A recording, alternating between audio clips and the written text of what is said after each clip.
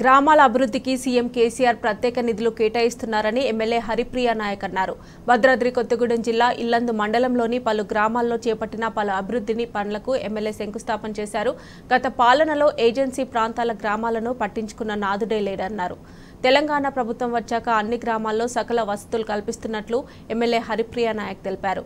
అనంతరం MLA tractor నడిపి అందరినీ ఉత్సాహపరిచారు. ఉత్సవాలు శంకుస్థాపన జరుగుతూ ఉన్నాయి.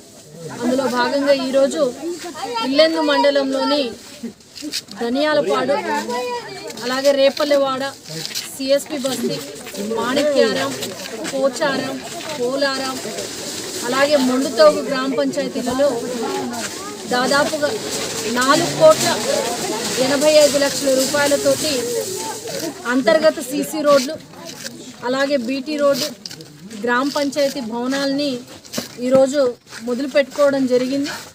గ్రామస్తులందరూ చాలా సంతోషిస్తూ ఉన్నారు. ఎందుకంటే వాళ్ళ ఊరు పుట్టిన దగ్గర నుంచి ఉన్నటువంటి ఎన్నో రోడ్ల సమస్యల్ని పరిష్కారమైనందుకు వారు ముఖ్యమంత్రి గారికి ప్రతి ఒక్కరికి కూడా తెలంగాణ రాష్ట్ర ప్రభుత్వానికి కృతజ్ఞతలు తెలియజేస్తూ ఉన్నారు. గతంలో మరి ఇక్కడ ఎవరు కూడా వచ్చి ఈ విధంగా వాళ్ళని పలకరించి ఇక్కడ సమస్యలు అడిగి తెలుసుకున్న వాళ్ళు ఎవరు లేరు. కానీ ఈనాడు తెలంగాణ రాష్ట్రం ఏర్పడిన తర్వాత గౌరవ ముఖ్యమంత్రి గారి సహకారంతో మరి నాలుగు కోట్ల ఎనభై ఐదు లక్షల రూపాయలని ఈ ఇప్పుడు చెప్పినటువంటి గ్రామ పంచాయతీలకు మరి కేటాయించినందుకు గౌరవ ముఖ్యమంత్రి గారికి ఈ సందర్భంగా ధన్యవాదాలు తెలియజేస్తా ఉన్నాను